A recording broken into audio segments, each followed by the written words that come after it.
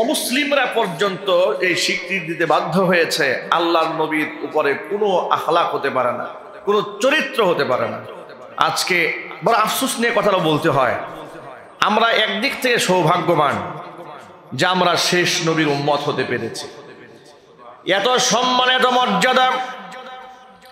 এই উম্মতির আল্লাহর হাবিব সাল্লাল্লাহু আলাইহি সাল্লাম বলেছেন ইন্নাল জান্নাতা হুররিমাত আলাল আম্বিয়াই হাত্তা আদখুলাহা। পৃথিবীর সমস্ত নবীদের জন্য জান্নাত হারাম হয়ে থাকবে, নিষিদ্ধ হয়ে থাকবে। পৃথিবীর কোন নবী জান্নাতে যেতে পারবে না, যতক্ষণ না পর্যন্ত আমি নবী জান্নাতের মেহমান না হব। এই হচ্ছে নবীজির মর্যাদা। অপরদিকে আলাল উমামি আর ততক্ষণ পর্যন্ত পৃথিবীর কোন উম্মত জান্নাতে যেতে পারবে না, যতক্ষণ না পর্যন্ত আমি নবীর উম্মত জান্নাতের মেহমান না হবে। কত সৌভাগ্য আমাদের। আমরা বেহেশতে না গেলে পৃথিবীর কোন নবীর উম্মতরা বেহেশতে যেতে পারবে না। সুবহান একদিক থেকে কত সৌভাগ্য আমাদের। অন্য দিক থেকে যে নবীর আমল, যে নবীর আখলাক পৃথিবীর মধ্যে সর্বশ্রেষ্ঠ, আমরা তারই উম্মত, তারই অনুসারী, দাবিদার হওয়ার পরেও নবী করিম সাল্লাহ আলী সাল্লামের আদর্শের ন্যূনতম আদর্শ আমাদের মধ্যে খুঁজে পাওয়া যায় না। ঠিক কিনা বলেন? সর্বত্র আমরা ইসলামের কথাকে কি জন্য বলি? শুনুন। আমরা যখন সর্বত্র বলি, ব্যক্তি জীবনে ইসলামের প্রয়োজন আছে যেমন, পারিবারিক জীবনে আছি, সামাজিক জীবনে আছে, রাজনৈতিক অঙ্গনে আছে, সর্বত্র ইসলামের প্রয়োজন আছে। ইসলাম যেখানে থাকবে, শান্তি সেখানেই থাকবে।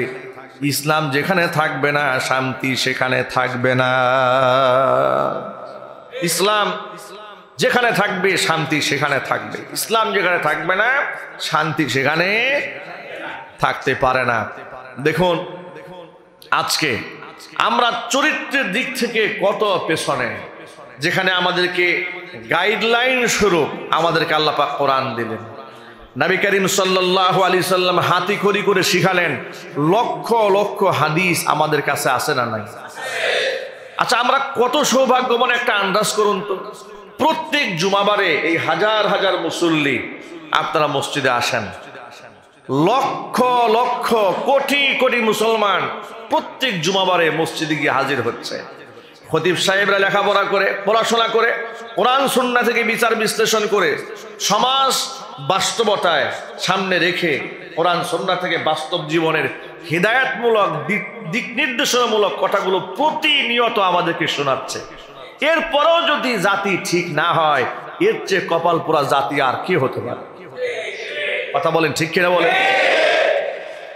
একমাত্র মুসলমানেরাই তার জাতিদেরকে যেভাবে ইসলাহ করছে, সংশোধনমূলক কথাবার্তা বলছে, পৃথিবীর এমন কোন ধর্ম আছে যেখানে আপনাকে একেবারে হাতে করে করি করে জন্ম থেকে শুরু করে মৃত্যু পর্যন্ত পার্টিকুলারই প্রত্যেকটা অঙ্গনে বিচার বিশ্লেষণ করে আপনার জীবন উপকরণ তুলে দিচ্ছে?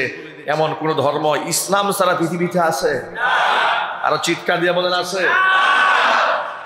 পৃথিবীর হিন্দু সম্প্রদায়ের কাছে জিজ্ঞেস করেন তো। হিন্দু সম্প্রদায়ের কাছে জিজ্ঞেস করুন, মেয়েকে বিবাহ দিয়ে দিয়েছে।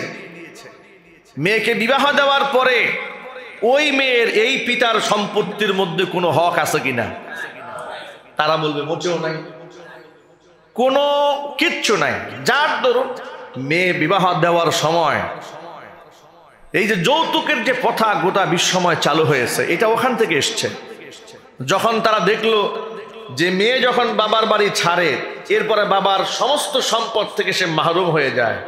এই জন্য বিবাহ দেওয়ার সময় শাড়ি, গহনা, স্বর্ণ, খাট, পালং, যা দেওয়ার জন্মের দেওয়া একবার দিয়া চিরবিদায়। কথা বলতে হবে তো? ইসলাম কি এরকম চিরবিদায়ের কোন সিস্টেম করেছে? আল্লাহ আকবর বলে। কি সুন্দর নিজাম ইসলামে আছে।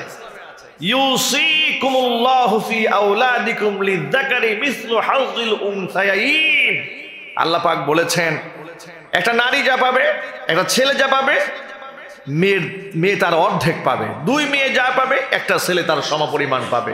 এইভাবে মেরাসের অধিকারটা ভাগ করে ইসলাম এক সুষম বন্টন নীতিমালা গোটা বিশ্বময় বিশ্ববাসের জন্য ইসলাম উপহার দিয়েছে। সুবাহান আবার দেখুন, একটা বাচ্চা দুনিয়াতে এসছে। ইসলাম কি সুন্দর। বাচ্চা দুনিয়াতে আসার সাথে সাথেই তার জন্য করণীয় কি? সর্বপ্রথম নীতিমালা শিখিয়ে দিল, এটা গতানুগতিক, কুকুরের বাচ্চার মতো আসে নাই, বিড়ালের বাচ্চার মতো না। এটা আশরাফুল মাখলুকাত, এটা মানুষ। গরু গাধা যেভাবে দুনিয়াতে আসে, সেভাবে সে আসে নাই। অত্যন্ত সম্মানের পাত্র সে। দুনিয়াতে আগমন করেছে, তাড়াতাড়ি তার ডান কানের মধ্যে আজানের শব্দগুলো ফুকে দাও, বাম কানে একামতের শব্দ ফুকে দাও। সুবহানাল্লাহ। দুনিয়াতে এসেছে, দায়ী দায়িত্ব শুরু হয়ে গেল, রবের সাথে পরিচয় করাইয়া দাও। আপনারা মনে মনে ভাবতে পারেন, একেবারে নবজাতক দুনিয়াতে মাত্র এসেছে, এর কানে আজান দিলেই কি একামত দিলেই কি, ও আজান একামতের কি বুঝে? বর্তমান আধুনিক বিজ্ঞান মেডিকেল সায়েন্স এটা প্রমাণ করতে সক্ষম হয়েছে, স্বীকার করেছে। জন্মের পর থেকে বাচ্চার কানে প্রথম যে ধ্বনি উচ্চারিত হয়, এটা বাচ্চার বয়স ২০ বছর ২৫ বছরও যদি হয়, সেই সময় পর্যন্ত পৃথিবীর পৃথিবীর কোনো শিক্ষা থেকেও সে যদি দূরেও থাকে, গোটা জগৎ থেকেও যে সে যদি বিচ্ছিন্ন থাকে, সমস্ত শিক্ষা ব্যবস্থা থেকে যদি দূরেও থাকে জন্মের পরে প্রথম যে শব্দ সে কানের মধ্যে গ্রহণ করেছিল, তার মেজাজের মধ্যে তার বিশ্বাস আল্লাহ পাক তখনই ঢুকিয়ে দিয়েছে। এই জন্য পৃথিবীর কোন নাস্তিক যখন ইসলাম বিরোধী কথা বলে, আপনারা বলতে শুনেছেন, অনেক আলেমরা বলে, মনে হয় জন্মের পরে কানে আজান দেওয়া হয় নাই। কথা বলতে হবে, ঠিক কিনা বলেন? এ কথা এই জন্য বলে।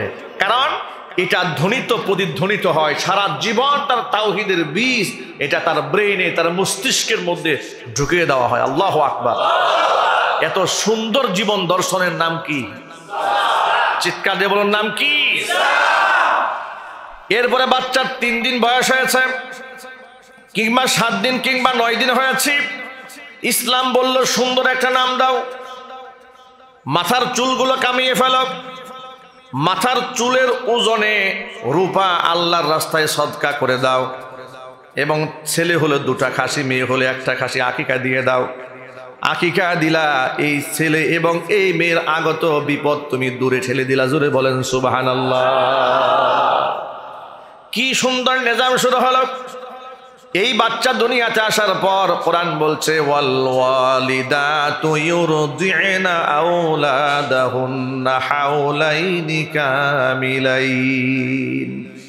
বাচ্চা দুনিয়াতে এলো, মায়ের উপর দায়িত্ব চলে এসেছে, বাবার উপর দায়িত্ব চলে এসেছে। মায়ের দায়িত্ব কি? পরিপূর্ণ দুইটা বছর বুকের স্তন্য দিয়া বাচ্চাকে তিল তিল করে গড়ে তুলবে, বড় করে তুলবে। আল্লাহর হাবিব বলেন, ও মায়েরা তোমরা বাচ্চাকে দুগ্ধ পান করিয়ে তোমাদের ফিটনেস নষ্ট করো না, বরং তোমাদের কত মর্যাদা আল্লাহর কাছে বেড়ে যায় সনক একটা শিশু বাচ্চা যখন চিৎকার মারে, ক্ষুধার যন্ত্রণায় কিংবা তৃষ্ণায়, সে তো কান্না ছাড়া তার মুখের মধ্যে কোনো ভাষা নাই। সে খাবার চাইতে পারে না, তৃষ্ণা লাগলে বলতে পারে না, চিৎকার দিয়েছে, আর মা তার স্তন্য বাচ্চার মুখের মধ্যে দিয়া একটা ফুটা দুধ তার মুখের মধ্যে পান করিয়েছে। আল্লাহর হাবিব সাল্লাহ আলী সাল্লাম বলেছেন, মৃত্যু পথের যাত্রী একটা মানুষকে নতুন করে জীবন দান করলে যেই সব হতো আল্লাহ পাক, মায়ের আমল নামার মধ্যে সেই সব লিখে দেয়। এই জন্য একদিক থেকে প্রতিনিয়ত মা এক একটা ফুটা দুধের বিনিময়ে নতুন নতুন প্রাণ বাঁচায় দেওয়ার সব মায়ের আমল নামার মধ্যে জড়ো হয়ে যায়। এই জন্য আল্লাহর হাবিব সাল্লাহ সাল্লাম বলেছেন গোটা পৃথিবীর সন্তানেরা তামাম তার জীবন যদি বাপ মার মধ্যে উৎসর্গ করে দেয়, এরপরেও বাবা মার ঋণ সন্তান কোনোদিন পরিশোধ করতে পারবে না। আমার ভাইরাম একজন ব্যক্তি আল্লাহ নবী সাল্লাহ সামনে এসে বলছি রসুল্লাহ ইয়া আমি আমার মাকে কাদের উপর উঠায় নিয়ে হজের সমস্ত কার্যক্রম শেষ করেছি? আমি তফ করেছি, সাই করেছি, মিনা মুজদালিফায় গমন করেছি ওফে আরাফা করেছি, সব করেছি। আমার বিদ্যা মাকে কাদের উপর উঠায় নে এত কষ্ট আমি করেছি। ইয়া রসুল আল্লাহ শিশুকালে আমার মা আমাকে দুগ্ধ পান করিয়ে যে ঋণই আমাকে করেছে, আমি কি আমার মায়ের ঋণ শোধ করতে পেরেছি? আল্লাহর হাবিব আলাইহি সাল্লাম জবাব দিয়ে বললেন সাবিরে তুমি শিশুকালে তোমার মা তোমাকে যে দুগ্ধ পান করিয়েছে তার গোটা জীবনের ঋণ তো দূরের কথা।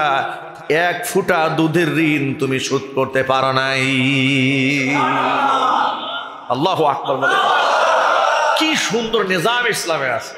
আবার অনেক আধুনিক মেয়েরা মডার্ন মেয়েরা বাচ্চাকে স্তন্য দিতে চায় না, বলে ফিটনেস নাকি নষ্ট হয়ে যাবে। নাউজুবিল পড়েন। এগুলা শিখেছে পশ্চিমাদের কাছ থেকে, যারা সন্তান নিতে চায় না, বিবাহ করতে চায় না। কিন্তু তারা বয়ফ্রেন্ড এবং গার্লফ্রেন্ড নিয়ে রাত্রি যাপন করবে বছরের পর বছর।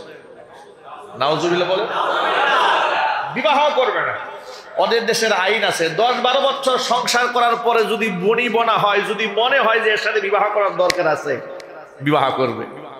বিবাহ করার আগে দশ বারো বছর একসাথে ঘর সংসার করবে। নাউজুবিল্লা কি বাড়ি গিয়ে বলবেন? এরপরে সে সিদ্ধান্ত নেবে যে এর সাথে ঘর করা যায় কিনা, তাহলে বিবাহ করবে। দেখুন, ইসলাম কত পবিত্র জীবন আমাদেরকে উপহার দিয়েছে। এখানে নারীর সম্মান আছে, পুরুষের সম্মান আছে, মানব গোষ্ঠীর সম্মান আছে। এই জন্য পরিপূর্ণ জীবন ব্যবস্থা ইসলাম। পশ্চিমারা ফিটনেস নষ্ট হয়ে যাওয়ার ভয়ে বাচ্চাদেরকে স্তন্য দান করাতে চায় না। পৃথিবীর বিজ্ঞানীরা বলেছেন, যত ব্রেস্ট ক্যান্সার এই পৃথিবীর নারীদের হয়েছে, এর বড় একটা কারণ বাচ্চাদেরকে সঠিক সময় দুগ্ধ পান না করানো। এটা একটা বড় কারণ।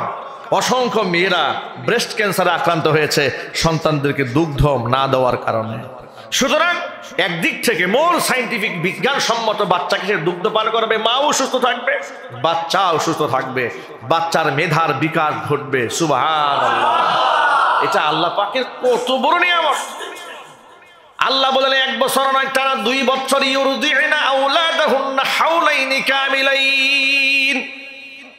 দুইটা বছর মা তার সন্তানকে দুগ্ধ পালন পান করাবেন, সাথে সাথে এ মায়ের ভরণ, পোষণ খাওয়া দাওয়া তার বুকের দুধ যেন শুকিয়ে না যায়। এই জন্য ভালো ভালো খাবারের ব্যবস্থা বাবা করে দেবে। জোরে বলেন সুবাহান্লাহ এখানে নারীর অধিকারের কথা আছে, বাচ্চার অধিকারের কথা আছে। এই বাচ্চা যখন সুন্দর নাম রাখা হলো, নামের গুরুত্ব ইসলামে কিন্তু অপরিসীম। এটা আপনাদের খুব গুরুত্ব সহকারে মনে রাখতে হবে। এখানে অনেক মুসল্লি ভাইরা নামাজে এসছেন। ইদানিং আমাদেরকে বলতে শোনা যায় যে আধুনিক নাম বলেন। অনেক গার্জেনরা ফোন দিয়ে বলে, হুজুর, আমাকে একটা আধুনিক নাম দেন। আধুনিক নাম বলতে আপনি কি বুঝেন? নাট, বল্টু স্ক্রু এগুলো তো আধুনিক না। বেবি, আকাশ, বাতাস, লতা, পাতা। আছে না নাই? এই নাম নাই? আকাশ নাই? বাতাস নাই? বেবি টেম্পু নাই? নানান রকমের। কেন? এর মধ্যে কি সম্মানটা আছে? কি সম্মান আছে এগুলোর ভেতরে? আধুনিক নাম বলতে কিছু নাই। আপনি বলবেন, আম্বিয়া আলিহিমুসাল্লাম নবী রসুলদের নামের সাথে মিলে আমাদেরকে সুন্দর একটা নাম দেন। সোভান বলে সাহাবাই কামের নামের সাথে মিলিয়ে একটা সুন্দর নাম দেন, অর্থবোধক নাম দেন। কারণ কেয়ামতের ময়দানে যাদের আবু বকর ডাক দিলে, আপনি আবু বকর, আবু বকরের পাশে দাঁড়িয়ে যেতে পারেন। আপনাদেরকে একটা তথ্য দিই, আবু দাউদ শরীফের হাদিসের মধ্যে এসেছে, ইন্নাকুম তুদাউনা ইয়াউমাল কিয়ামাতি বিআসমাইকুম ওয়া বিআসমাই আবাইকুম কিয়ামতের দিন তোমাদেরকে ডাক দেওয়া হবে। আল্লাহর পক্ষ থেকে প্রত্যেকটা মানুষকে ডাক দেওয়া হবে তু দাও তুদাউনা বিআসমাইকুম তোমাদের নিজেদের নাম ধরে ওয়া বিআসমাই আবাইকুম এমনকি তোমাদের পিতাদের নাম ধরে ডাকা হবে। এই জন্য নিজের নামের সাথে পিতার নামের সম্পর্কটা এবং পরিচয়টা বড় সম্মানের। এই কথাটা খুব ভালো করে শোনেন। নিজের নামের সাথে পিতার নামের সংযুক্তি থাকা এটা কিসের? সম্মানের পরিচয়। কিসের পরিচয় যদি বলেন তো? সম্মানের পরিচয়। কেয়ামতের দিন বাবাকে সম্বোধন করে, সন্তানকে বাবার নামে সম্পৃক্ত করে ডাকা হবে অমুকের পুত্র অমুক দ্বারাও সুবাহান আল্লাহ এই জন্য আমাদের মুসলিম দেশের রীতি হলো, ছেলে কিংবা মেয়ে যেই হোক না কেন, নিজের নামের পরে বাবার নাম অত্যন্ত সম্মানের সাথে লিখতে হয়। আমাদের আইডেন্টিটি আমাদের জাতীয়তা, আমাদের রাষ্ট্রীয় আইনেও এটা আছে। আমাদের গার্জিয়ান হচ্ছে আমাদের বাবা। আমাদের গার্জিয়ান কে? আরও জোরে বলেন। কিন্তু পশ্চিমাদের গার্জিয়ান ওদের বাবা না। ওদের গার্জিয়ান হচ্ছে ওদের মা। গত দুই বছর আগে মা দিবসে আপনার জিপি ইন্টারনেট নেটওয়ার্ক অর্থাৎ গ্রামীণ ফোন। গ্রামীণ ফোন কিছু বিজ্ঞাপন বানিয়েছিল। তারা অত্যন্ত সুকৌশলে এদেশের মধ্যে পশ্চিমাদের আদর্শ ইস্টাবলিশ করার জন্য কি কৌশলটা অবলম্বন করেছে দেখুন। মায়ের যে অবদান আছে, মায়ের অবদান তো অপরিসীম। এটা কি অস্বীকার করার কোনো সুযোগ আছে? সীমাহীন মর্যাদা মায়ের। এমন কি? আল্লাহ রসুল সাল্লাহ ইসলামকে যখন প্রশ্ন করা হয়েছিল, কার হক বেশি? হুজুর বলছে, তোমার মায়ের। এরপরে কার? তোমার মায়ের। এরপরে কার? তোমার মায়ের। এরপরে কার? তোমার বাবার। আল্লাহ আকবার। কিন্তু পরিচয় প্রদানের ক্ষেত্রে সম্মানের পরিচয় হলো প্রত্যেকটা মানুষের পিতৃ পরিচয় ঠিক থাকা। এই জন্য কাগজে কলমে নিজের নামের সাথে বাবার নামের সম্পর্ক অত্যন্ত সম্মানের। কিন্তু বাংলাদেশে একটা আওয়াজ উঠেছিল, এই দেশের তথাকথিত সুশীল এবং বুদ্ধিজীবীরা বলেছিল যে শুধু বাবার নাম কেন? এখন থেকে বাংলাদেশে মায়ের নামের সংযুক্তি হলেই যথেষ্ট। কথা বুঝতে পার পেরেছেন? তারা বুঝাতে চাইলো যে তারা খুব মা ভক্ত। তারা বিজ্ঞাপনে বুঝাতে চেয়েছে, মাকে তারা দারুণ ভালোবাসে, কিন্তু কৌশল কিন্তু তা নয়। এটা খুব সূক্ষ্মভাবে মেসেজ দেওয়া হয়েছে। এটা এই দেশের মধ্যে সমকামিতা, অবৈধ জিনাবে বিচারের মাধ্যমে।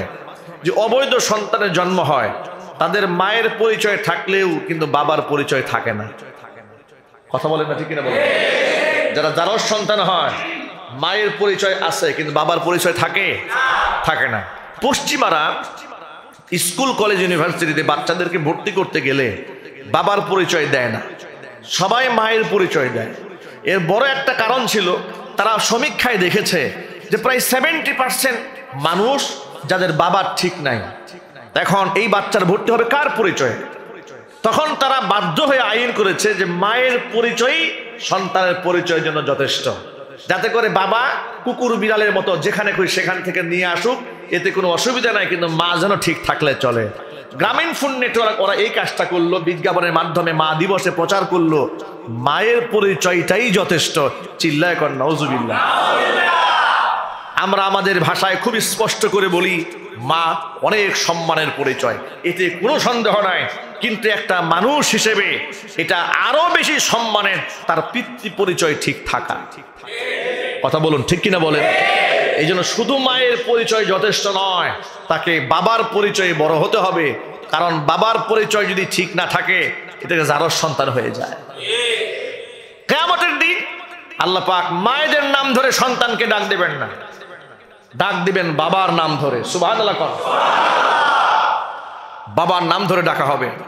আর এই ধরনের সুশীলরা বাংলাদেশের বিভিন্ন জায়গায় এরা খুব আসন গেড়ে গেড়ে বসে আছে। বিগত স্বৈরাচারীর আমলে এই ধরনের নাস্তিক এই ধরনের ইসলাম বিদ্বেষী, কোরআন বিদ্বেষী, রসুল বিদ্বেষী লোকদেরকে টেলিভিশন টক শোতে কফি খাইয়ে খাইয়ে টাকার বিনিময়ে এদেরকে ভাড়া করে আনা হতো এই দেশের ইসলামের আদর্শগুলোকে ধ্বংস করার জন্য। কথা কি সত্য না মিথ্যা? আরও যদি বলেন, সত্য না মিথ্যা? যারা পাঠ্যপুস্তকে ট্রান্সজেন্ডার ইস্যু ঢুকিয়েছে, ওরা ইসলামের বন্ধু না শত্রু? দেশের বন্ধু না শত্রু? যারা আবু বকর সিদ্দিক রাদি আল্লাহ তালা আনহুর জীবনী উঠিয়ে দিয়েছে ওমর রদি আল্লাহ তালা আনহুর জীবনী শিক্ষাঙ্গনটিকে উঠিয়ে দিয়েছে। মোহাম্মদ ইসলামের জীবনী উঠিয়ে দিয়ে সেখানে গরুর জীবনী ঢুকিয়েছে। আল্লাহর কাসাম আল্লাহর কাসাম, লাল গরুর ইতিহাস যারা পাঠ্যপুস্তকে ঢুকিয়েছে, তারা ভারতের পা চাটা গোলাম ছিল। এই সমস্ত গোলামেরাই দেশের বিভিন্ন অঙ্গনে ইসলামাইজেশন যেন না হয়, ইসলামের কৃষ্টি কালচার, তাহজিব তামাদ্দুদ কিচ্ছু যেন না থাকে সর্বত্র থেকে ইসলামকে ঝাঁটাপিটাই করার জন্য এরা প্রস্তুত হয়ে বসেছিল। এরা পরাজিত হয়েছে। আমাদের দৃঢ় বিশ্বাস, এরা যে অন্যায় করেছে, যে অপরাধ করেছে এদেশের মানুষের সাথে, এদেশের মুসলমানদের সাথে, এদেশের আলেমদের সাথে, এদেশের সাধারণ মানুষের সাথে যা করেছে, এর প্রায়শ্চিত্ত কিংবা এর সঠিক বিচার পৃথিবীর যে কোনো আদালতেই হোক না কেন এদের সর্বোচ্চ শাস্তি মৃত্যুদণ্ড দিলেও এদের পাপের তুলনায় শাস্তি খুব সামান্যই হবে। ঠিক কিনা বলেন?